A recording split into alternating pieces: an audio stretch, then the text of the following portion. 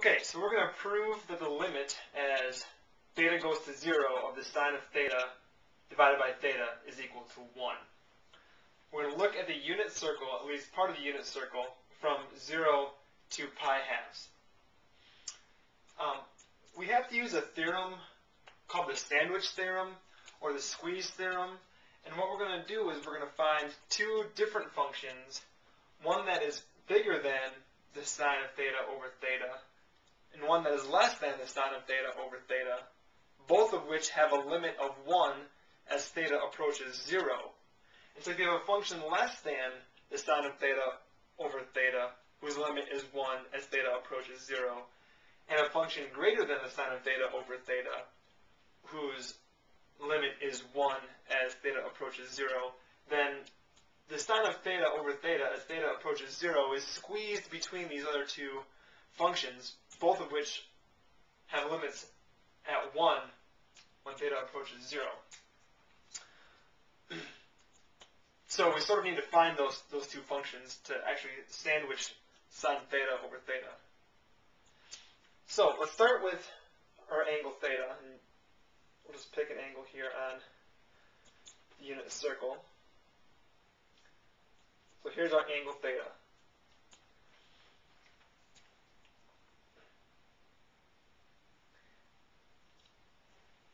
We drop a perpendicular here, if we consider the sine of theta as the opposite over the hypotenuse, so the sine of theta is the opposite over the hypotenuse, but the hypotenuse is the radius of the unit circle, which is 1. So the sine of theta is opposite over 1, which means the opposite is the sine of theta. So this length right here is sine of theta. Okay, we're going to use something similar to that. If we look at a different triangle, so I'll, I'll outline this triangle in red. This will be our red triangle. Okay. If we extend this,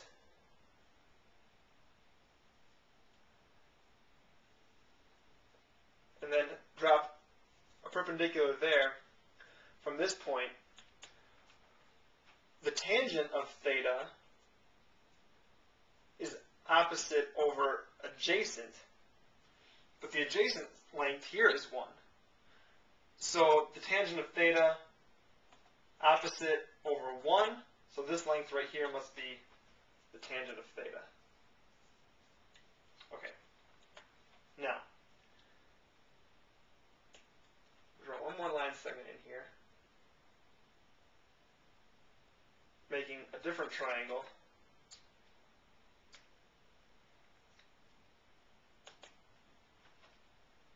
Um, that I'll outline in blue.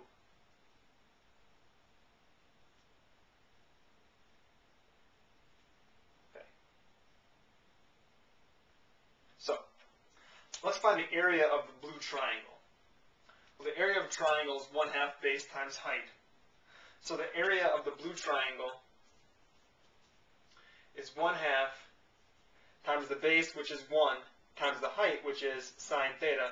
So it's 1 half times the sine of theta. That's the area of the blue triangle.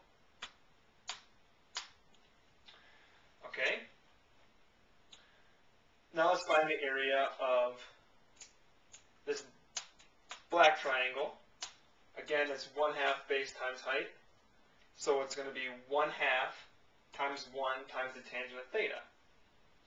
So it's equal to 1 half times the tangent of theta. And we need to find one more area, and that's going to be the area of this sector, this piece of the pie here,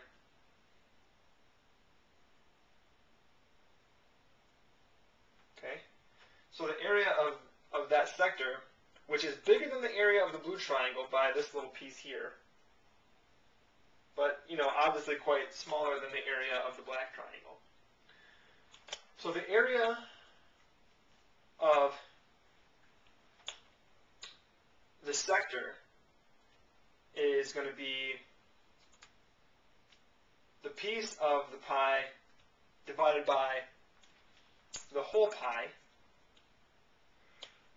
So that's going to be theta divided by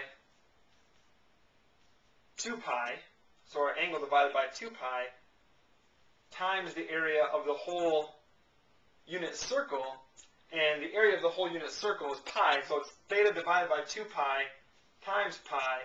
Well, what happens? These two pi's cancel. So the area of the sector is theta over 2. Now we can relate these three areas with an inequality. So the smallest of the three is the blue triangle.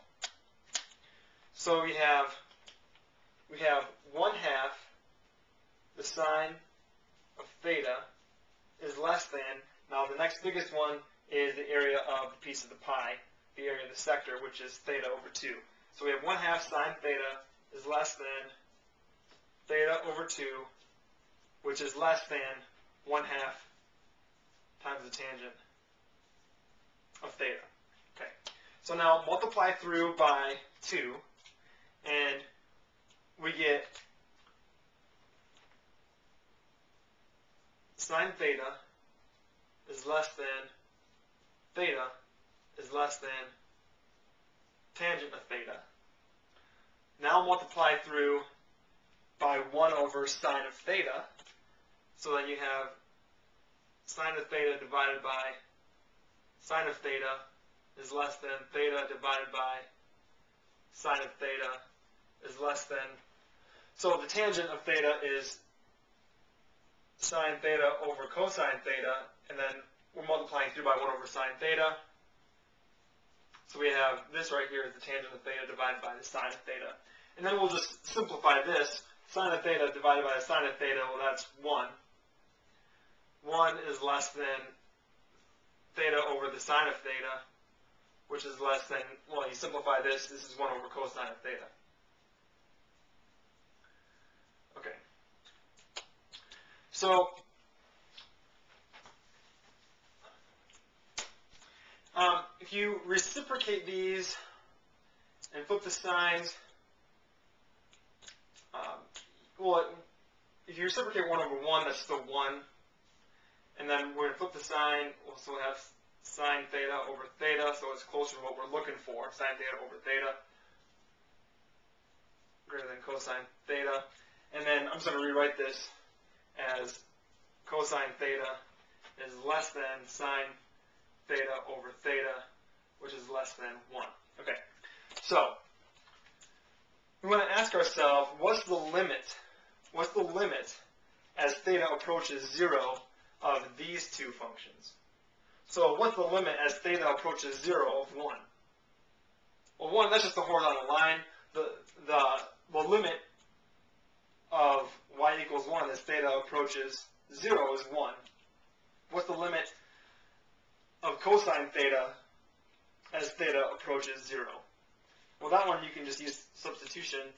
Uh, what's the cosine? So, so what's the limit as theta approaches 0 of the cosine of theta? Well, you can just plug in theta is equal to 0, and the cosine of 0 is equal to 1. So now what you have is 1 is less than the sine of theta over theta, which is less than 1. And here we're taking the limit as theta approaches 0. So this is squeezed between these two other functions whose limit is 1 when theta approaches 0. Therefore, the limit as theta approaches 0 of the sine of theta over theta is equal to 1.